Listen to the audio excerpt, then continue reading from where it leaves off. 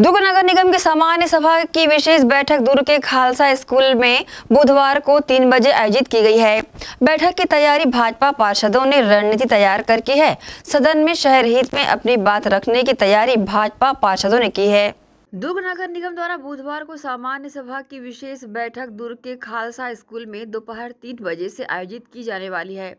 इसी कड़ी में भाजपा पार्षद दलों ने अपनी रणनीति बनाकर सदन में शहर की जनता के हित में अपनी बात रखेंगे, साथ ही अपने प्रश्नों के उत्तर मांगने के प्रयास करेंगे। इस मौके पर दुर्ग भाजपा कार्यालय में एकत्र सभी भाजपा के पार्षदों ने अपनी अपनी समस्याओं को लेकर चर्चा की। इस संबंध में न्यूज़ टीम को पार्षदों ने अपनी प्रतिक्रिया दी।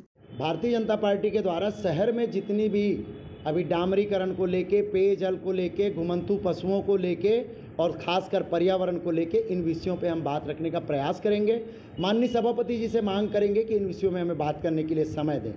कल का जो विषय है, जाति प्रमाण पत्र, छत्तीसगढ़ सरकार ये दिखावा कर रही है। हम लगातार तीसरी बार इसको, हम इस प्रस्ताव को सहमति भी देंगे अपने, क्योंकि ये उन लोगों के लिए है जो वर्षों से जाति प्रमाण पत्र के लिए वंचित हैं। पर इसका औचित्य कहाँ है? हमने पिछले वर्ष भी जाति प्रमाण पत्र का 432 प्रकरण स्वीकृत करके भेजा है और अभी तक के एसडीएम से जाति प्रमाण पत्र एक भी व्यक्ति को नहीं मिला है। तो किथे ना, माननीय अरुण वोरा जी पर खायक दांत अलग है और दिखायक दांत अलग है।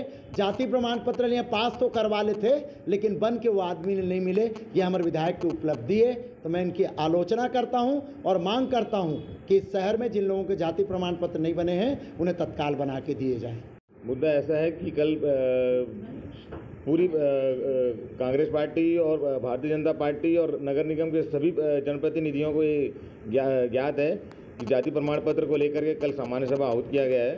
इसमें पूरे दुर्ग शहर के पार्षद, भाजपा पार्षद, हम सभी लोग जाति प्रमाण पत्र को लेकर के एक सभी सभी के सभी उसकी वो देंगे।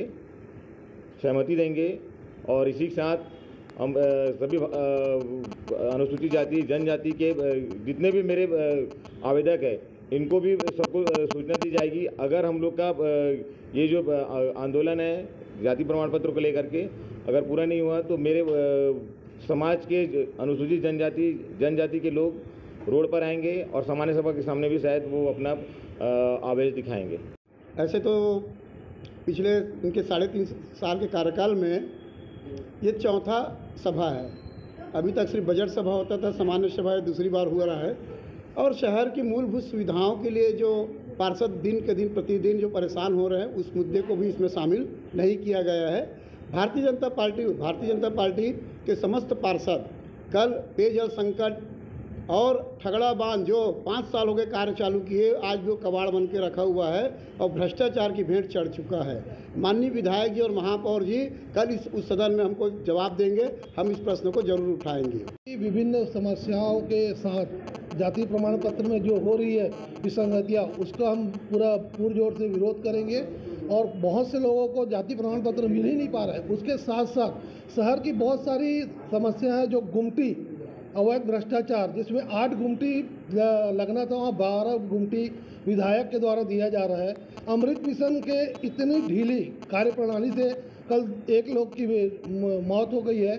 उसके प्रति उदासीनता के विरोध में कल हम वहाँ पे सामान्य सभा की बात, अपनी बातें बोलेंगे। ग्रैनेसियन न्यूज़ के लिए दुर्ग से नसीम फारूकी की रिपोर्ट।